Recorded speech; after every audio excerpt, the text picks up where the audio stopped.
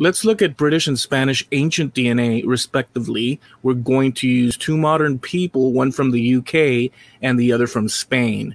Because the UK and Spain are large areas, we're going to be more specific than just British and Spanish. We're going to look at the differences between a modern English person with a long standing history in England and a modern Cantabrian person with a long standing history in Cantabria.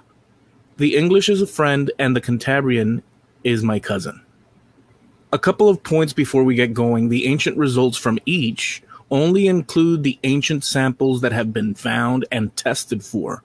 And these two modern people, the English and the Spanish person, are two individuals out of a larger population of people, and there would be different results, at least in part, if other people from their areas were to be tested. But in a broad sense, these results represent an average on a sliding scale of what you'll find from people in their respective locations in an ancient sense when comparing DNA.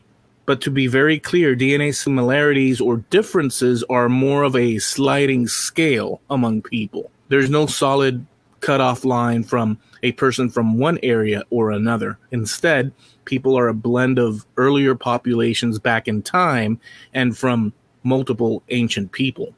Here's the map with the ancient samples that match the modern English person. You'll see the matching samples in the British Isles across northwestern Europe, Central Europe, and a Visigothic sample in northeastern Spain. Here's a map from the modern Cantabrian person and their ancient matches that are found across the eastern coast of the Iberian Peninsula into France, Italy, Central and Eastern Europe, and a Scythian sample further east.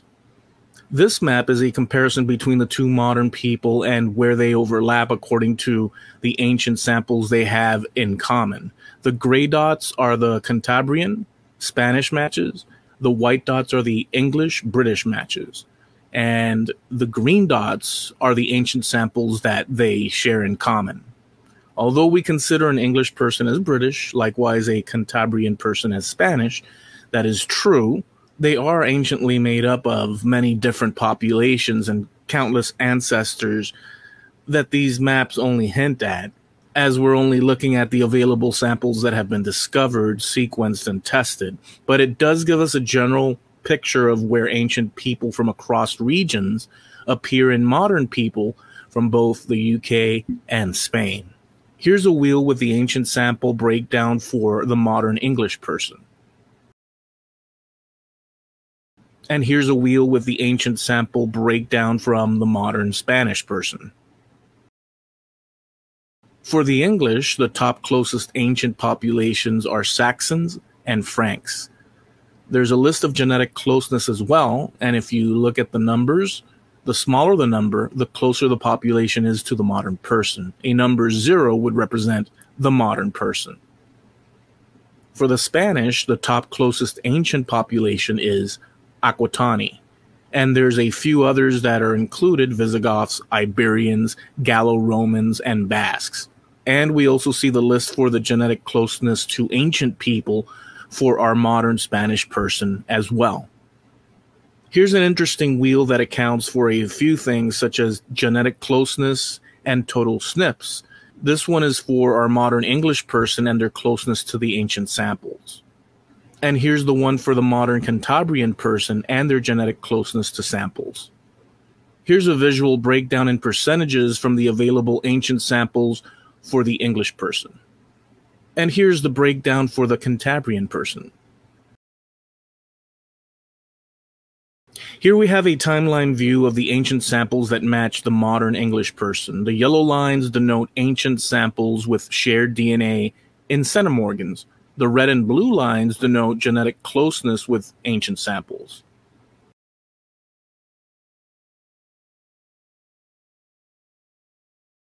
And here we have the timeline of ancient samples that match with our modern Cantabrian person.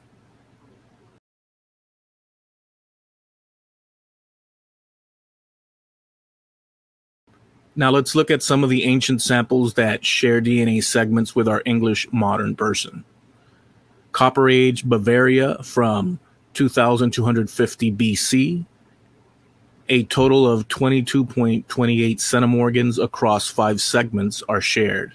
The largest segment is 5.87 centimorgans.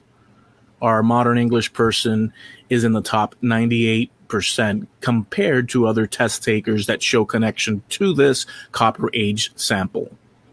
And below we see the five segments that are shared on chromosomes 2, 12, 15, 16, and 21. Next, we have a Bronze Age Orkney, Bronze Age Prague, Bronze Age Golden Boy from Amesbury found near Stonehenge, a Viking sample from Denmark, Bronze Age Scotland, a plague victim from medieval Netherlands, a Bellbeaker sample from Cambridge, a Lombard sample, and another sample from Bronze Age Prague. For a Cantabrian modern person, we have an Etruscan sampled from 650 BC, sharing a total of 25.49 centimorgans across four segments, with the largest segment being 8.74 centimorgans. The DNA shared is 93% closer than other users that match with this sample, and the shared segments are found on chromosomes 3, 5, 7, and 20. Next, we have a Visigothic match from 550 AD, Bronze Age Spain from 1290 BC, a Roman sample, a Serbian sample from the Bronze Age, a sample from Bronze Age Sicily, a Basque Roman mix sample, a Vasconia Basque sample, another Visigoth sample from 550 AD, and a Lyrian Lombard sample from 580 AD. That's it. Catch you next time.